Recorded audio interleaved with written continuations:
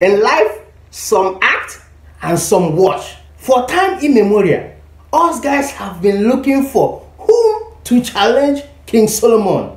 Remember, King Solomon had 700 wives and 300 concubines. So we've been scouring the surface of the earth looking for whom to challenge the guy, but nobody stood strong until today. I think we found our warrior. I think we found the king himself. I think we found a challenger.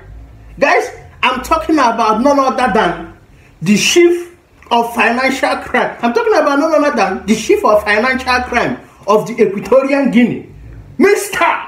Baltasar Ngonga. Guys, just round of applause for the guy. The guy is blowing up the whole of social media. Guys, nobody knew where Equatorial Guinea is in a map. Nobody. Tell me, nobody knew Equatorial Guinea until this guy decided to rise above the occasion. Guys, I'm talking about over 460 sex tapes. Yo, 460 sex tapes with different women. Guys, with different women. And some of the women in the tape are said to be friends of the wife of his friends, the wife of very prominent people in Equatorial Guinea. Guys, let me give you a list of people that Mr. Baltasar has been sleeping with. Here, it says he has been sleeping with the wife of the director of presidential security.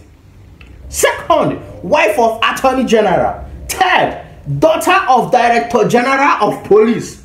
Fourth, wives of many ministers. Guys, many ministers, not one, not two, many ministers. Wife, the brother's wife. That is where I'm like, no, no, no, no, no, no, no, no, no. You can you can be sleeping with your brother's wife. But Mr. Engonga did. Next, his uncle's pregnant wife, guys. He slept with his brother's wife. He slept with his uncle's pregnant wife.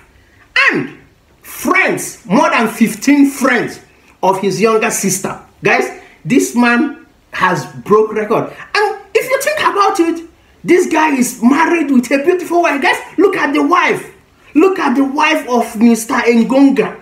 Guys, Mr. Engonga is married with five or six kids as I'm talking to you. And I, what I'm hearing now, I don't know if it's true that his wife collapsed upon hearing the news of his of her husband's escapade and she's still in hospital getting some treatment. But all I have to say, guys, some act, some watch. Are you a watcher or are you an actor? Because Mr. Gonga, I truly salute. You are like all the guys around the world are happy. Mm-hmm. Everybody, because since time immemorial, guys, we've been looking for whom to challenge King Solomon, but nobody stood firm until Mr. Ngunga stood firm.